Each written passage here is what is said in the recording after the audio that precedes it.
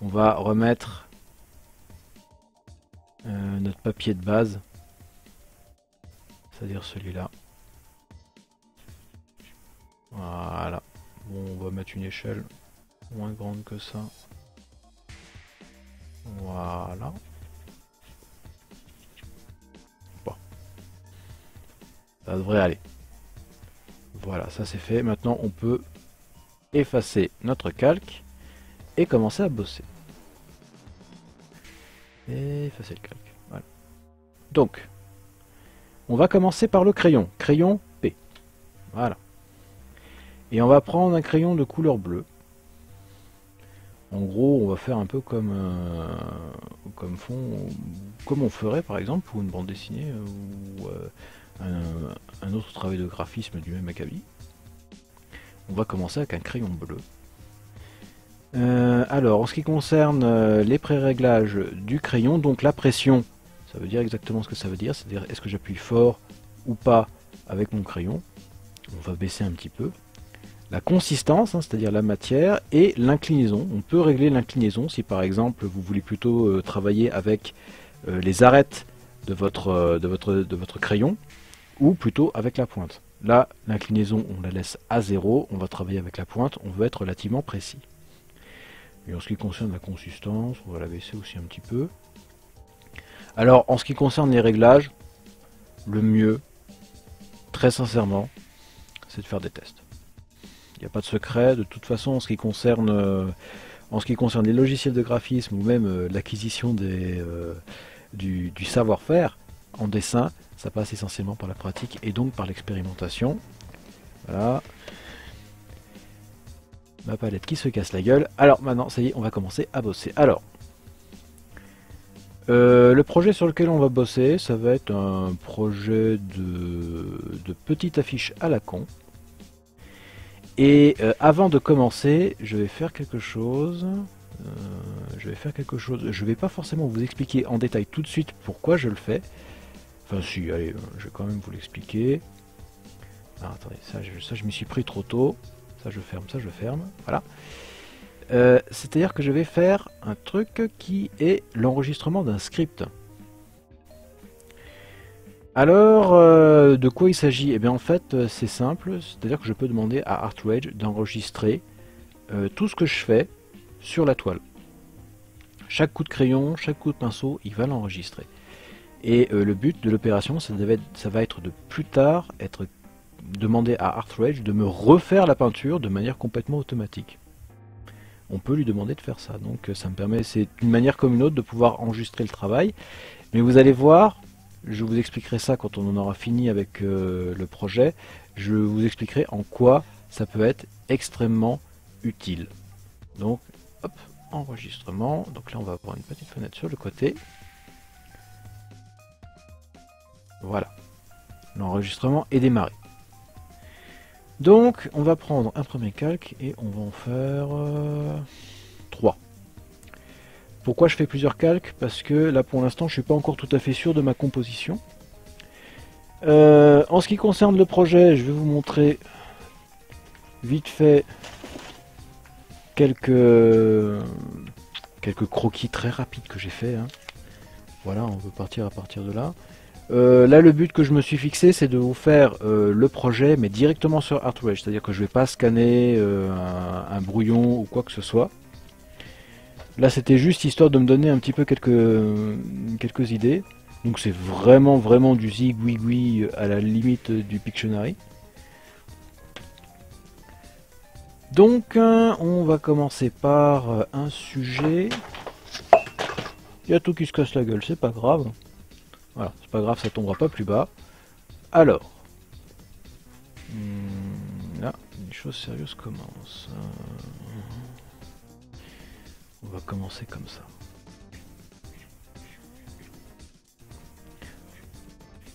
Alors, en ce qui concerne l'utilisation euh, du crayon, c'est extrêmement simple, hein. c'est vraiment basique, c'est d'ailleurs pour ça que je commence aussi par ça. Ah oui, si jamais vous voulez déplacer votre toile, c'est comme dans Photoshop, c'est la touche espace. vous y allez comme ça, vous pouvez déplacer votre, euh, vous pouvez déplacer votre support. comme ça, vous pouvez voyager à l'intérieur de votre document. Donc ici pour le zoom. Et il y a une autre chose que je vais vous montrer tant qu'à faire, hein, tant qu'on est là. Euh, c'est la possibilité on ne peut plus sympathique qui existe déjà dans Photoshop euh, mais qui par contre n'existe pas encore sous GIMP que je sache.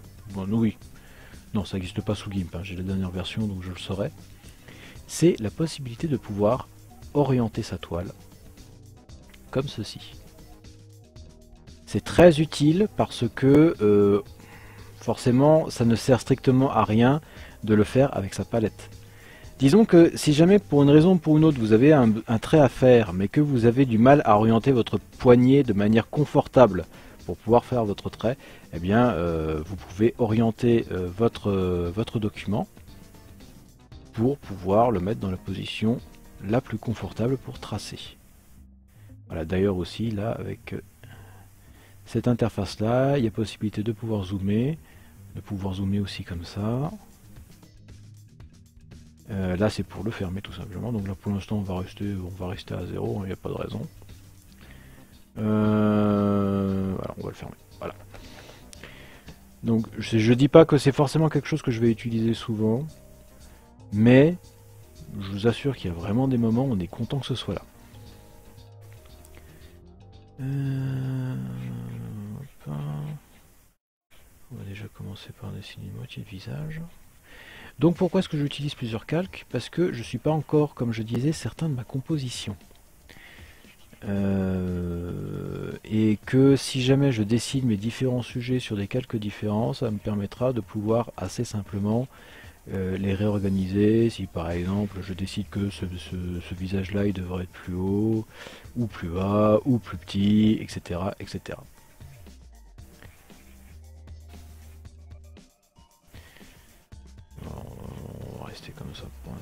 quand même, je vais rajouter, rajouter une oreille.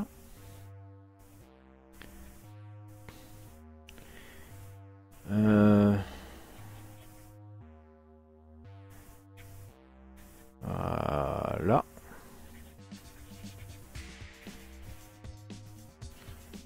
très grossièrement. Hein. Euh, ensuite, je vais changer de calque. Pif. Je vais dessiner un deuxième sujet ici.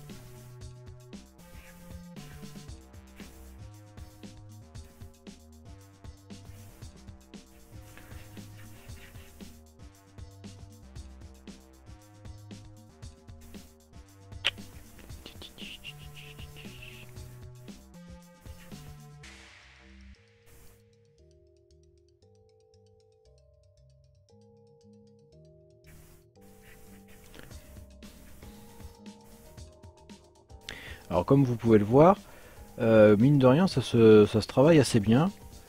Euh, par contre, euh, très franchement, je ne sais pas si j'arriverai à bosser comme ça uniquement avec la souris.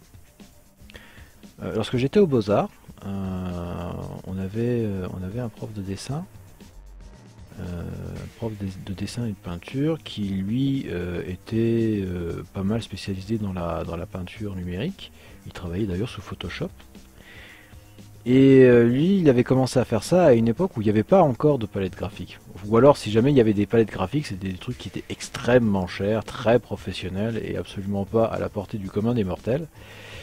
Et euh, du coup, donc lui, il faisait ses peintures numériques à la souris. Et en fait, il a tellement pris l'habitude de bosser la souris que lui, limite, ce serait l'inverse, c'est-à-dire qu'il pourrait pas le faire à la palette. Et euh, il faisait des trucs qui étaient finalement pas mal du tout, qui était assez précis, euh, que moi je serais totalement, mais alors totalement infichu de faire à la souris à l'heure actuelle. Ou en tout cas, ça me demanderait euh, un... Ça me demanderait, euh, je sais pas, un entraînement de, de, pas mal de temps, de quelques années avant d'avoir le même niveau que j'ai là, par exemple, avec une palette. Parce que bon, moi j'ai appris un peu à l'ancienne, hein, c'est-à-dire papier-crayon. Euh, qui d'ailleurs, de toute façon, la, meilleure école. Et euh, là, j'ai beau vous montrer comme ça des logiciels dans lesquels on peut faire les mêmes choses de manière numérique, il est hors de question que je lâche entièrement le papier et les crayons euh, un jour. Ceci étant dit, de pouvoir faire comme ça euh, un dessin directement sur un document, ça, ça m'arrange dans le sens où ça me permet de ne pas avoir à scanner. Euh, le document et de devoir éventuellement le nettoyer.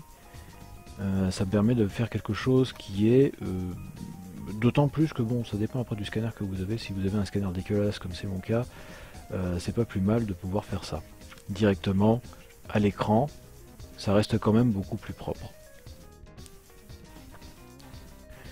ensuite déjà je change encore de, zut je change encore de calque on passe au troisième que j'ai créé là au dessus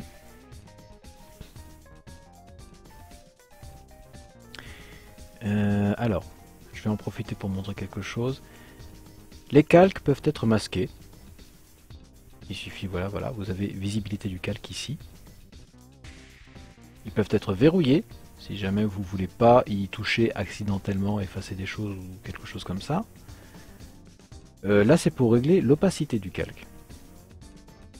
C'est-à-dire que je peux rendre le calque plus ou moins, euh, le contenu du calque plus ou moins transparent. Et il y a aussi des modes de calque qui sont disponibles. Ça c'est quelque chose qu'on verra plus tard. Pour l'instant c'est pas vraiment utile. Là par exemple, ce que je voulais c'était... Tiens. Oh. Là par exemple ça me permet de voir que ça, ça j'en veux pas de ça. Euh, hop, gomme. Gomme E pour le raccourci clavier. Ici, je peux agrandir la taille de ma gomme ici, ou alors je peux aussi même carrément juste cliquer et euh, taper une entrée numérique, ou alors je peux cliquer, glisser vers le haut ou vers le bas pour l'augmenter ou le réduire. Il faut que je passe un coup sur les options, donc dans les présélections. Ah, pourtant, je suis à 70, euh, 78. Euh, non, normalement, il n'y a pas de souci. Hein. Pourquoi ça, pourquoi ça gomme si Pourquoi ça gomme rien? Je dois pas être sur le bon calque, tout simplement. Je suis pas sur le bon calque, tout simplement. Voilà, c'est ici. Voilà, donc ça, j'en veux pas. Bon, pas sur ce calque-là en tout cas. Voilà, et ça, je le masque aussi. Et je vais rester sur celui-ci. P. P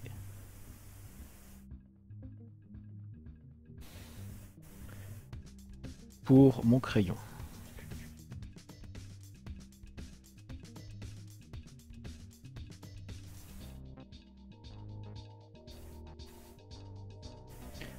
Alors ceux-là, j'ai pas besoin non plus de trop les détailler parce que ce sont des personnages qui vont être dans le fond.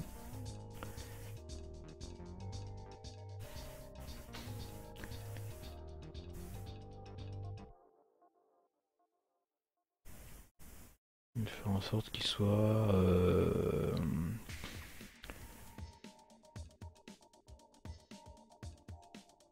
avec euh, des angles un peu variés.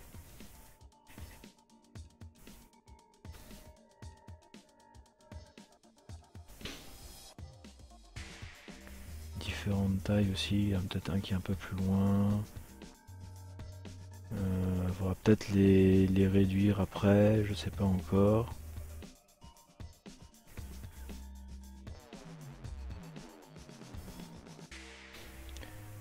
Voilà, pour l'instant on est